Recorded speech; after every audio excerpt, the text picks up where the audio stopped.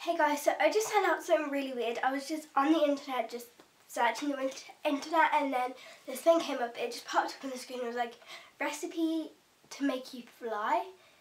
And it was like you had to create this formula, like liquid. You had to drink it and then it makes you fly. I made it and I'm going to test it out now and I don't know what's going to happen and how it's going to turn out, but let's go see. Hi guys, it's today I'm and I hope it works. So yeah,